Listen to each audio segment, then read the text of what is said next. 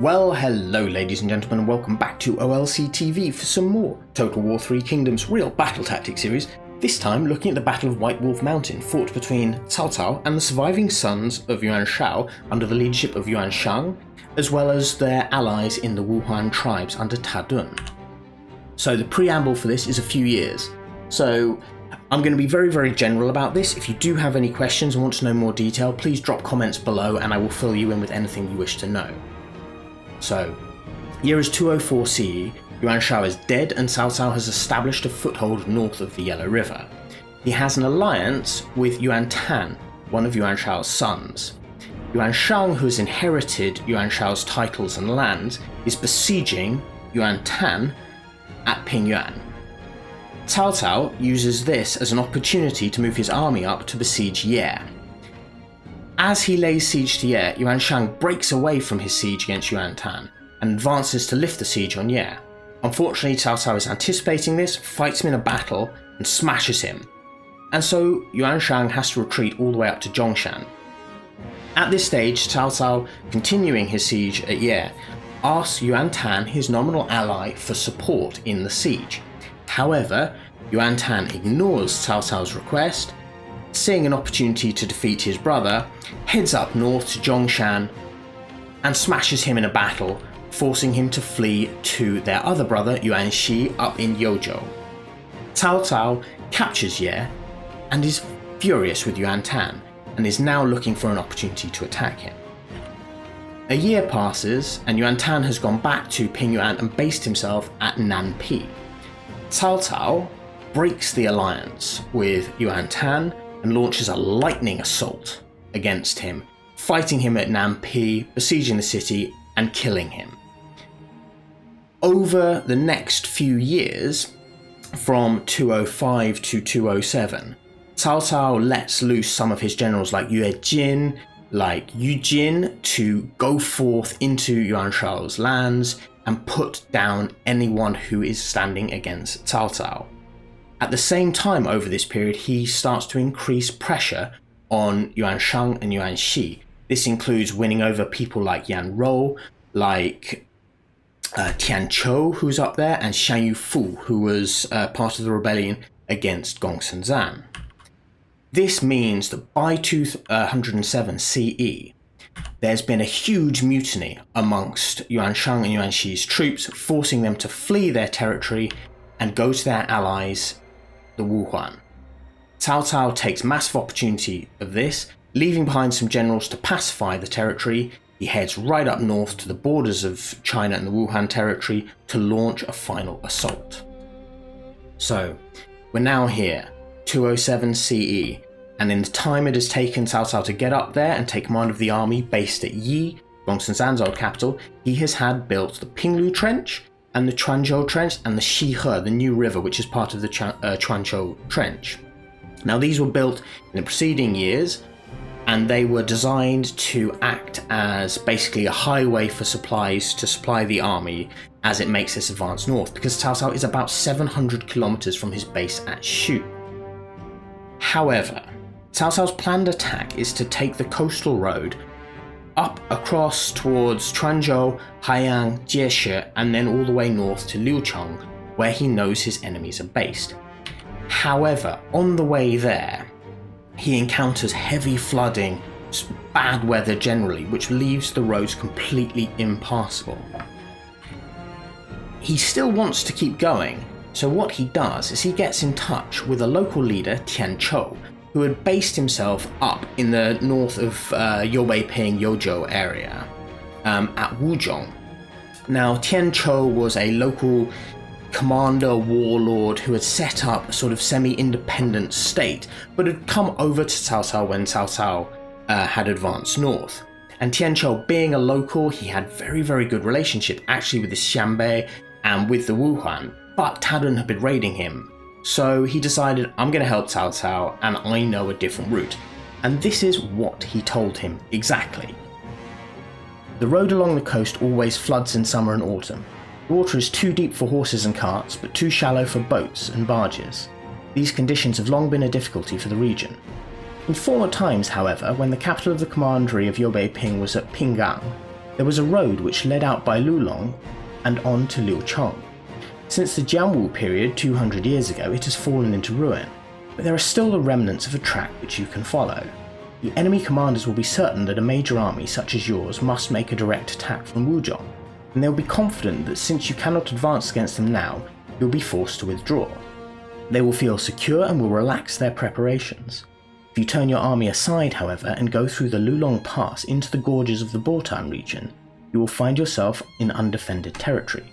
The road is close and convenient, and you will be able to attack them where they least expected. You can take Tadun's head without a single battle. So that was Tian advice. Cao Cao wanting to crush this combined Wuhuan force, which was a threat, as well as the Yuan brothers, just to make sure that he had a completely solid grasp on the northeast, takes it. He cannot, however, take his entire army. The Wuhuan do have a point. To take his entire army, he needs to do a direct attack. So what he does is he takes his most elite troops and he gets them basically kitted out to be as light as possible for a mountain trek. And amongst these uh, elite troops, he obviously has his Tiger and Leopard cavalry under the command of Cao Chun, um, who's Cao Ren's twin brother. He takes the likes of Zhang Xiu, who you remember he fought against at the Death Place in one of the earlier episodes of this series. He takes the likes of Guo Jia as his strategist. He takes Zhang Liao, and uh, Xu Huang as well. Like some big names go on this campaign. Cao Cao goes up to where Tian Chou is based at Wuzhong, and using Tian Chou as a guide, he follows this road all the way up through the passes past the deserted city of Pinggang and heads to a place called White Wolf Mountain. As he reaches the nearing area of White Wolf Mountain, Tadun and his scouts realize they have been outmaneuvered and so, even though Cao Cao is still planning to go to Liucheng to besiege it, Tadun rushes his forces out without Cao Cao knowing to go meet him at White Wolf Mountain. And that is where they clash. Now, the battle itself. There are some debates about exactly where White Wolf Mountain is and where this battle was fought. However, I'm using uh, Rafe de Crespigny's idea of where it is, and because of the lack of direct information about where it was, the actual battlefield itself. I mean, as always with this, I don't exactly go over the top for the details, but all we know about the battlefield is that there was a slight hill that Cao Cao used as a vantage point, and that the Wuhuan and uh, Yuan Shao's sons together were very disarrayed. So as they approach the battlefield, Cao Cao has about 5,000 troops with him, and he's facing somewhere in the region of 100,000 to 300,000 people. Now, I must state people. Uh, the Wuhuan tribes will not have been an entire fighting force. They would have had soldiers amongst them, they would have had levies amongst them, but they would have also had a number of camp followers, families, their baggage train, and everything combined together. The same with Yuan Shao's sons. Yuan Shang and Yuan Shi had fled. They are taking pretty much everything with them, though they would have left like, key people in Liucheng. Uh, we can assume from this 100,000 to 300,000 people that less than a third were actually fighting soldiers um, of any quality. The rest would have been made up of the sick, the injured, uh, and families and the like. But whatever happens, when they arrived, Cao's forces were horrendously outnumbered, and they were shaken because of this, quite understandably shaken. Cao Cao also did not expect to clash here, so as they approached, he quickly formed up his troops and went to go have a look at the formations of the Wuhuan. As he was standing atop this hill, he noticed that the Wuhuan were in such disarray they had left a massive weak spot in their forces. And so Speaking to his commander of the van, who at this stage was Zhang Liao, he said to Zhang Liao, There's Tadun, get him. And Zhang Liao did just that. Zhang Liao, taking a very small number of troops compared to what he was about to fight against, went straight for the head of the snake and beheaded Tadun, destroyed the morale of the Wuhuan army. It's very rare that you see in history a single charge that breaks a nation. this is one of these times where a single charge by Zhang Liao broke the Wuhuan tribes completely. Tao had been trying to combine them into a force um, that could raid and be a unified entity on the borders. This destroyed that hope. This charge destroyed that hope. After Tadun's head had been taken and this charge had succeeded, the Wuhuan were in massive disarray, and any attempts to rally the troops were then met with Xu Huang and the rest of the boys charging in and taking heads. The battle then was over very, very quickly. Yuan Shang and Yuan Shi, plus some of their troops, fled. Anyone who didn't flee and did not surrender died. Cao Cao is estimated to have taken somewhere between 100,000 to 200,000 captives, with only a handful of losses on his own side.